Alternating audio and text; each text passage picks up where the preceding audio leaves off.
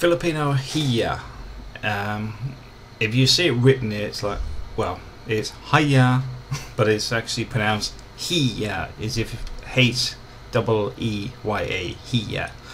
Um, it's a. It's described as a shame in UK text a lot, but it's to do with. Um, it's more proprietary. It's. I would say it's more an etiquette thing that's the shame's cause from not following it. Uh, for example, the debt of gratitude for those that um, helped you through education or taking care of your parents when they get old uh, financially, etc.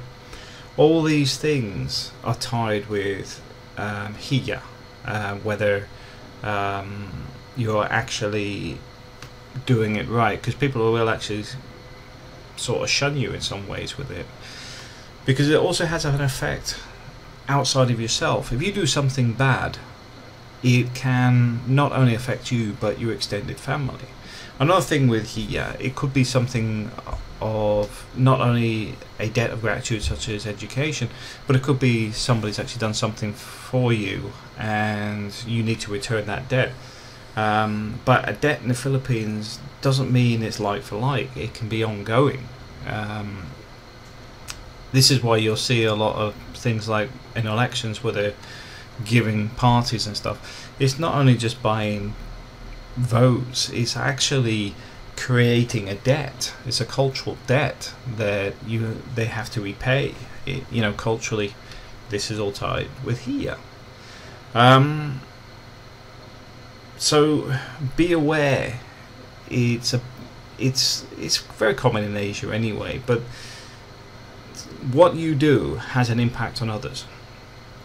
For example, this is where some expats go very, very wrong. So they have a falling out with their wife, or whatever, have an affair or something, and the the neighbourhood is aware of it. So he's like, well, th- that's her fault, blah blah blah.